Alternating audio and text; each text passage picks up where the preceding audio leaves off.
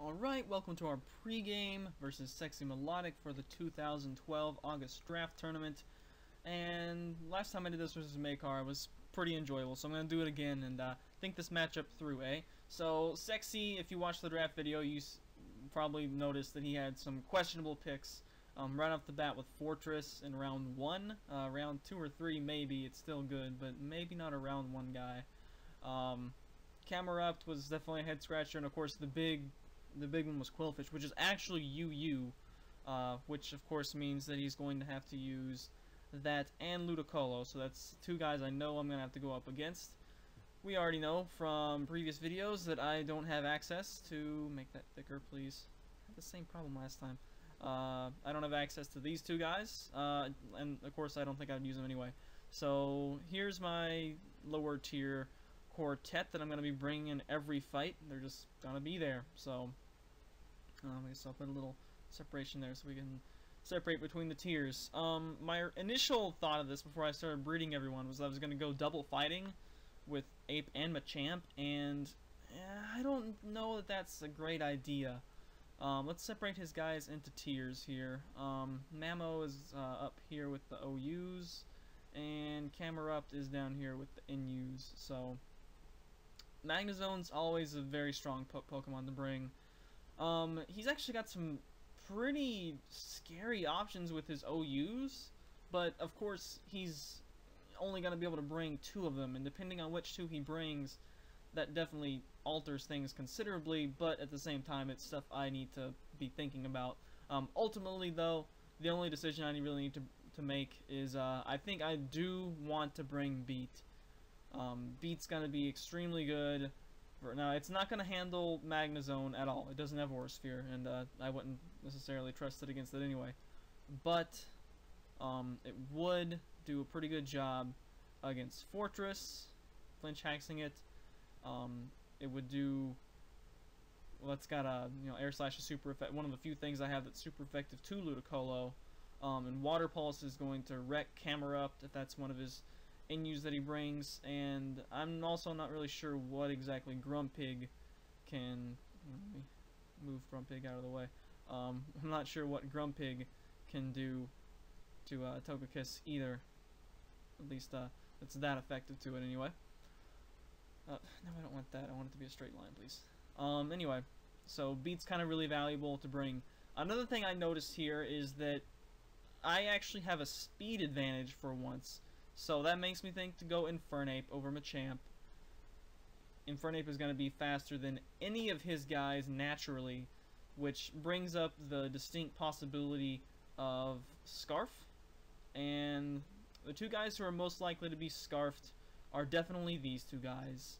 Um, he's only got, I think, two options. I, I guess this thing probably has quick attack, or it has access to it, I think. But uh, I think Qwilfish gets Aqua Jet and of course Mamoswine gets Ice Shard.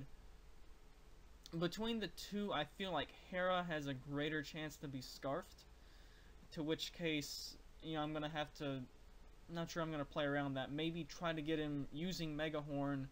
If he kills something with Mega Horn, then I can send it Infernape, and I'm either faster or he's Scarfed onto Mega Horn, so that could be a potential thing that comes into play. Um, Mamoswine, um, as long as it's not scarfed, you know, I'm not afraid of Ice Shard, certainly with Infernape. Um, it's gonna hurt, but not not too much. Um, as far as uh, Forretress, I am not concerned about Forretress whatsoever. I've got a spinner who who handles him pretty well. Um, its most common offensive attack is, you know, Earthquake, which Claydol is not going to care about. And if it blows up, then, well, it blew up, so whatever. Um, I do have a Ghost also to go to to block Spin. Uh, he does not have a spin blocker on his team, so once I put rocks up, uh, they are up. He does have some options for some spikes, toxic spikes. Um, toxic spikes, don't care too much about them. I've got a spinner and a heal beller to remove their effects. Um, this guy can rest, so he doesn't care too much about them, and of course two of my guys levitate over them. Um, it would bother Infernape a little bit, any uh, additional residual damage when I've got a life orb is not welcome, but eh, it's it's not the worst. It's not the end of the world, certainly. Um, as for Dodrio, which is uh, eh, I don't know. Um, I don't have any steel types. I, I actually sort of would rather him brought a Staraptor to uh, some extent. Um, and Fernipe is of course faster than it. I don't think it's going to be Scarf or anything. Um, a lot of this is going to depend on what sets he picks. I'm definitely most afraid of Subseed out of Ludicolo. I'm always scared to death of Subseed because it's so good and I'm so bad at playing around it. Um, so that's definitely a concern. Some sort of Swords Dance set out of Qwilfish could make him more threatening than he probably should be. And the OUs are just a big, a big question mark. I'm, I'm not sure what to, what to make out of these. Um, they're gonna, you know, which two he uses is gonna be, gonna determine a lot of plays. Getting that information is gonna be definitely key. But, um, I do know that Magnezone, I need I need to scout if it's got HP Grass. If it doesn't, then Lanturn should be able to come in and you know break substitutes with Surf and just say get out Magnezone. Um, Regice would also be a nice quick pivot switch there. The first turn he's in, see if he uses HP Grass. If he uses HP Grass, then it'll be, obviously it'll be neutral. If for some reason he goes for HP Ice, it'll be resisted. And if he just switches, then I'm going to interpret that as meaning he doesn't have HP Grass. So, um, I'm not sure what role Shadow Man's going to play here. Uh, I don't believe Spike goes through sub, so that's going to on the on the sub seeding. Um, you know, just having him as a ghost. Um, also, he'll be immune to any anything that's stabbed from Grumpig. That'll be good as well. He'll be able to block spin, be immune from um, from fighting, while not being weak to dark. Although he will be uh, susceptible to bug. Um, you also don't really want. I don't really want a toxic Heracross because then that's just gonna boost them up guts. So, eh, you know, Beat's not gonna be faster than him. I don't think. Almost certainly not unless he's like no speed.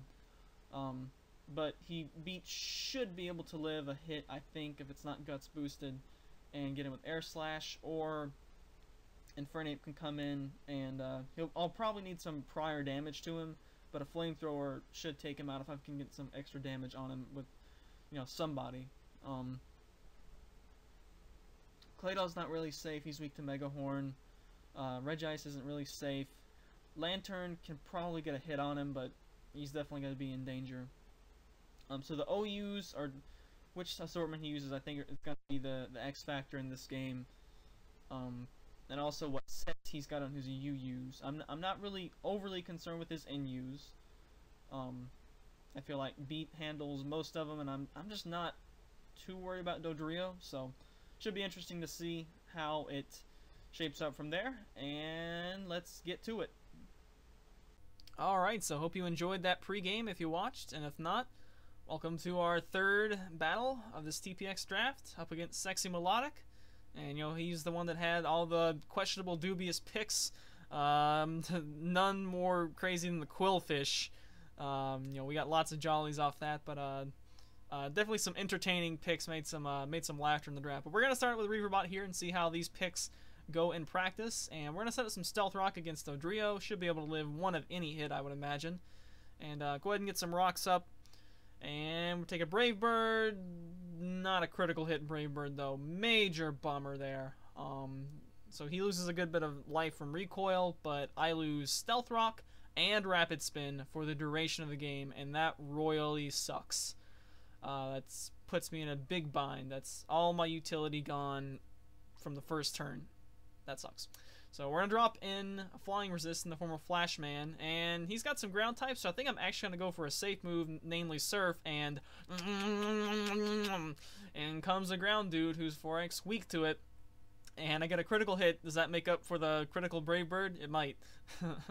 uh, but anyway, so this guy's got full HP. It's 5-5, uh, and mine's got full HP. His doesn't, but... Uh, anyway, he's going to drop in uh, probably the signature Pokemon of this draft, which is Qwilfish and that seems a little suspect to me as you know it's entirely likely that I've got stab electric to hit him with. So I'm thinking maybe he's gonna explode. You know um I, I think he's got some other stuff that could probably take Lanturn. he has to have Ludicolo. It's a UU so it's the only other UU he drafted. So uh, I'm actually gonna switch out here and just in case it is indeed explosion and sets up Toxic Spikes, and at least they get Shadow Man in non-poisoned. So I'm just gonna go for some damage with Nightshade, get taunted, so it's a good turn to pick Nightshade, and now we're gonna have to stick with Nightshade because uh, the rest of the moves are status moves. So it sets up another layer of T-Spikes, and we're just gonna get the HP down there, as uh, he can't explode or do anything uh, too devastating back, I imagine. And he's gonna go back into Dodrio, avoid the Nightshade due to normal typing, and Taunt wears off at a good time, uh, allowing us to stay in.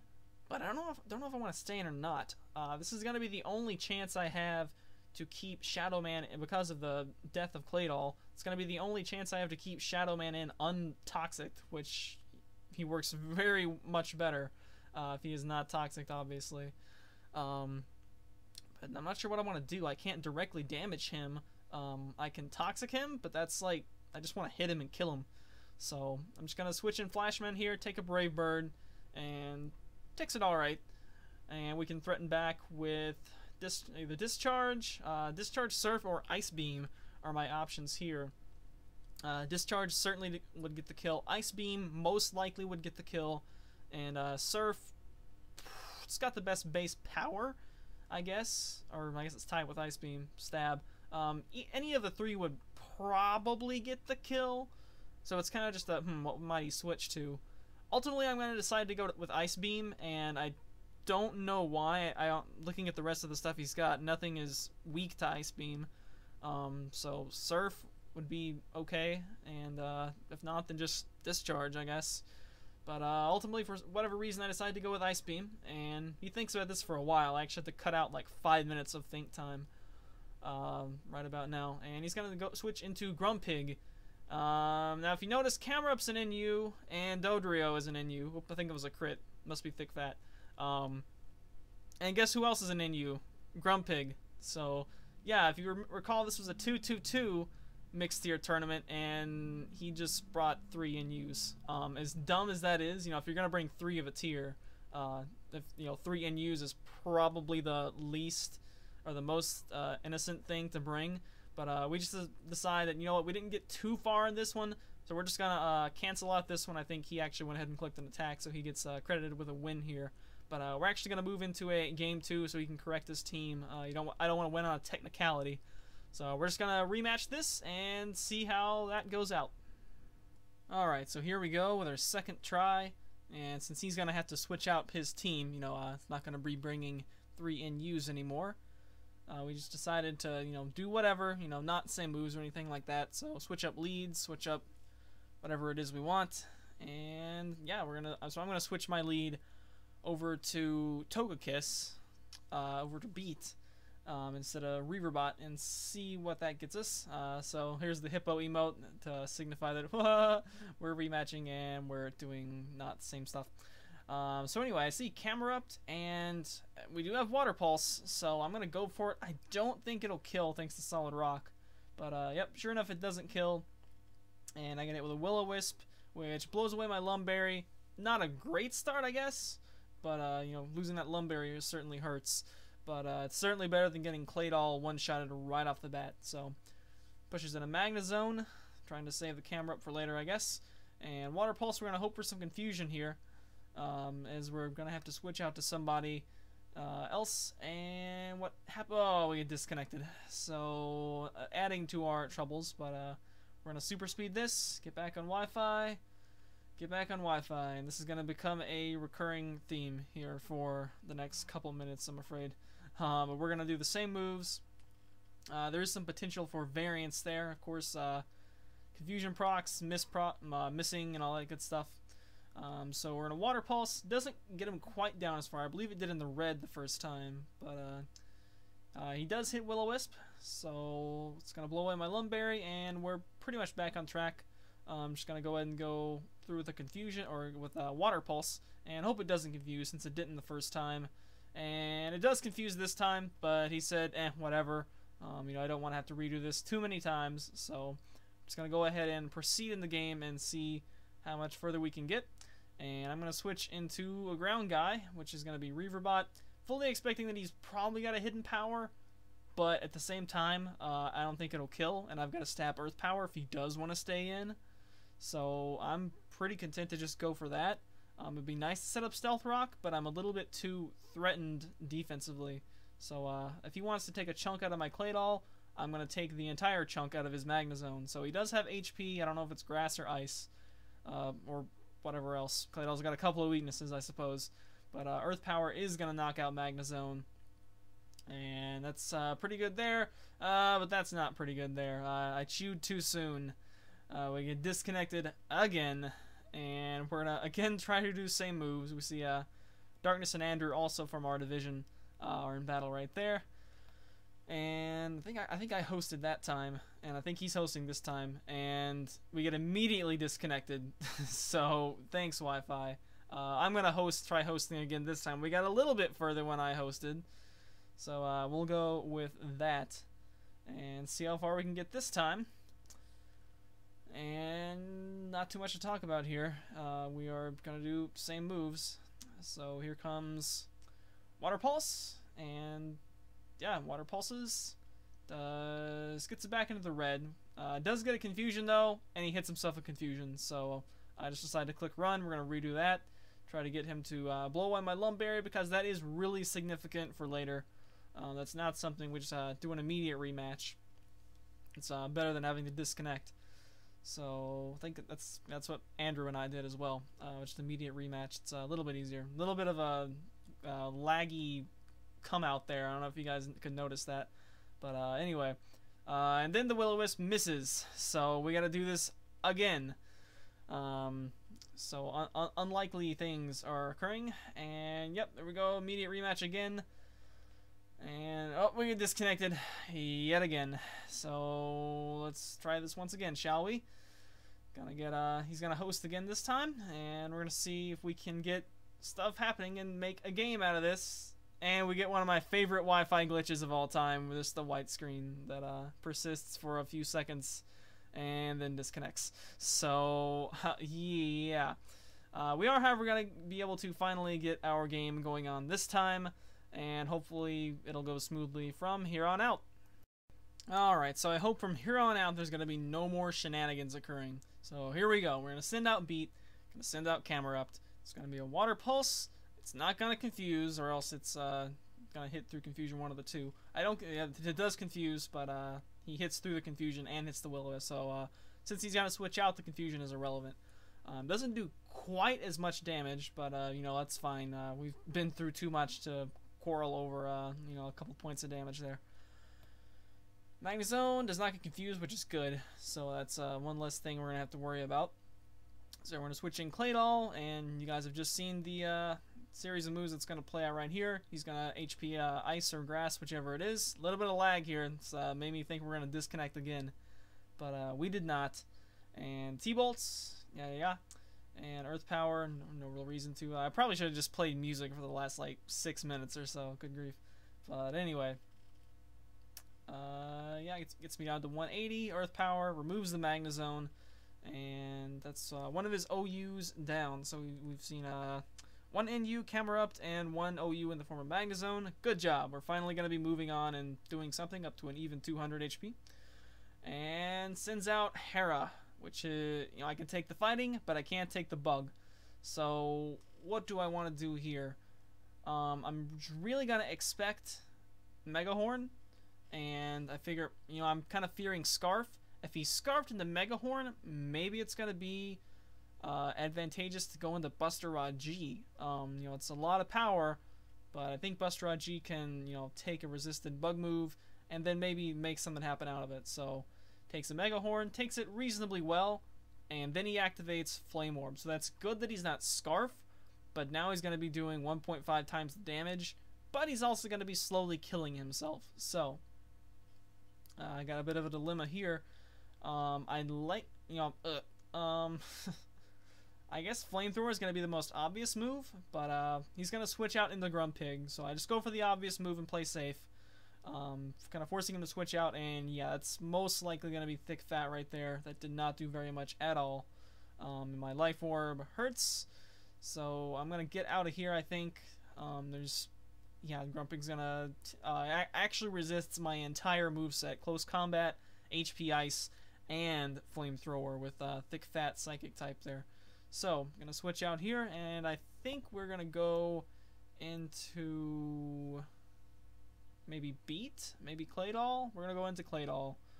Yep, and he's uh, actually gonna pull a great move here. He's gonna double switch back into Reaver or back into Heracross, and now I'm in a worse position than before because now I can't do the same thing. Guts is activated, so I'm gonna have to do something else, and or else uh, maybe sacrifice Reaverbot. You know, hoping uh, maybe he's gonna go for another move besides Megahorn, and uh, I don't have anything that's really going to be that effective to hit him with, but I don't know, maybe I can set up a Stealth Rock or something. I don't really want to switch in anyone and take a hit, um, at the same time, I don't really want to lose my utility guy, so I think I'm going to click Stealth Rock here, and he doesn't pick a coverage move, he just goes straight for Mega Horn, so what can I say? He got me there on the double switch, and now uh, we're to have to see what we can do to come back from this. So, what's to come in next? I'm to think about it for a while. Um, what do we have here? Um, Sableye might be able to live something from full HP. He is uh, defensively invested. Um, but I don't think he's to be able to recover up too much. Um, I, I, I, hate to go into Buster Rod G, but I think I'm going to. It's the only thing that's faster. Uh, but I'm definitely not going to go for Flamethrower this time, I think. Uh, we're going to try to do something else. I think we're just going to use this as an opportunity to get a to bait a switch and then go into somebody else. Probably if he goes back in the Grumpig, Shadow Man's going to be a good option, as it's going to be immune from his stab. Um, he hasn't shown me any moves, he just pulled it in and then pulled it out. Um, that's what we're going to do. We're going to switch into Shadow Man there, and yep, that's exactly what he does, so uh, we're tied on good double switches here. Um, what exactly can I do? Um, well, we can Nightshade. Grumpig doesn't have reliable recovery. Uh, we can Toxic. That might be okay. Um, and looks like we're just going to go straight for the Nightshade, go for the damage. As a Qwilfish comes in, which is poison type, that would have uh, made any other move pointless. So best move I could have picked right there. And we see he has leftovers, not Black Sludge leftovers, but you know whatever. Uh, there's no trick involved, so meh. Um, I think we're just going to be content to maybe, you know, he can't explode. Uh, unfortunately, once again, my spinner is gone. So he's just going to set up Toxic Spikes and I don't really know that I want to go to anyone else to you know get in here before T spikes come up. Um, Ape's not going to be able to um, you know knock this thing out with uh, being faster. Uh, so I think we're just going to go for a couple Nightshades and get this thing gone. Is really all I'm looking to do. Looks like it's going to be a four hit KO despite leftovers. And here he's going to waterfall. Qwilfish actually has some pretty decent attack. And Nightshade gets it down there pretty low. Uh, he is faster, and I kind of like to recover. You know, to uh, I think I would gain a little bit of HP there, but due to waterfall flinch hacks, um, I want to take as few of those as possible. So I'm just gonna go ahead and Nightshade, live that, and just get this Qwilfish out of here. Um, I think that only left him with one layer of T spikes, so I'm not gonna ha gonna have to deal with toxic. It's just gonna be poison, which is can be better, can be worse. Anyway, in comes Camerupt, and if I recall correctly, Sableye has base 50 speed versus Camerupt's 40. So I really don't know what he's thinking here. Does he maybe have some speed investment and think he's faster?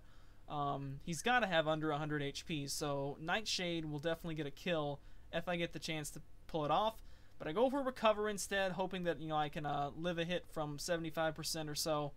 The Earth powers, and I don't live a hit, so really should have gone with Nightshade there, obviously. Um, another bad play, and yeah, it's a kill that should have been going the other way, and then some lefties recovery on top of it. Um, so now I think I'm just gonna go into the thing that uh, go back to the to the leadoff matchup, and just a drop in beat here. Um, he is Sans Lum Berry, but I'll be able to water pulse it, and Nasty Plot would actually be a consideration, but uh, I felt like if it did that much, um, maybe it's. I, I, doubt it would be Specs if it's Will-O-Wisp, um, but I don't think I've seen lefties, so yeah, we're just gonna go for Water Pulse here. And either get this thing dead or get a hit on something else. Thinking about it for a while, I don't really know why. I guess maybe uh, considering an air slash. Magnezone's gone, so uh, that's his best thing to resist air slash. But, yep, we're to just Water Pulse, get the knockout, and we've seen what? We've seen uh, Heracross, that's an OU, Qwilfish, that's a UU. Um, we've seen Grumpig, so we know he's got Ludicolo left. Uh, and yeah, and in fact, Ludicolo should be the only thing he has unseen. Uh, wait a minute. That's not a Ludicolo. That is a Mamoswine. That, ladies and gentlemen, is a third OU. So, uh, sexy goofed again. Um, so we talk about this for a while. It's what this little wait period is. And uh, ultimately, I guess he just face palms and says, "You know what? I just screwed up twice. Uh, went through a lot of grief with with Wi-Fi trying to get connected and stuff. So, whatever. You can just have the win. I think it's what we decided uh, to do there. And uh, however, um, just for the sake of you know continuing the game uh, until it disconnects again. We decided to go ahead and play it out uh, just for funds. So at this point, I've got the win in my back pocket, but you know we're gonna keep uh, keep playing just for the sake of having fun with the game. So go for Water Pulse, and I believe that's a Life Orb on that Mamoswine. Looks like it. So I'm not gonna be able to live another Ice Shard. So I actually go into Buster Rod G. I'm honestly not sure why. Um, yeah, I guess because it's gonna be faster. Um, it's gonna resist Ice Shard, sure, but uh, I feel like from that low HP, I'm not gonna be able to fire off an attack that's going to, uh, you know, he's gonna get me with Ice Shard, I believe. So uh, I just go go into Iceman here, who takes Ice Shard obviously really well, and takes a superpower not quite as well, and uh, in fact he gets a crit. I uh, that's debatable if that mattered or not. Um, the Regis are certainly very uh, stalwart, but it was Life Orb from Mamoswine, so I'm gonna say it probably didn't matter. Dropping Buster Rod G, he doesn't have Stealth Rock up, just the just the Toxic Spikes, which already happened, and uh, that's just to bait a Ice Shard or an Ice Shard as uh, we just go into Lanturn to take pretty much nothing from it. Uh, we do get him poisoned, however. This, I think that's also the first time I dropped in Lanturn this fight. So uh, expecting a close combat here, but I'm, I'm at almost full HP, so I'm pretty sure I'm going to live, and I do. And we get a surf off there and it adds to the damage that Heracross has taken. And I think we're gonna be content to maybe just sacrifice Flashman here. Yeah probably is gonna be his best usage from here on out. Um, he's got what Heracross and Grumpig left I think?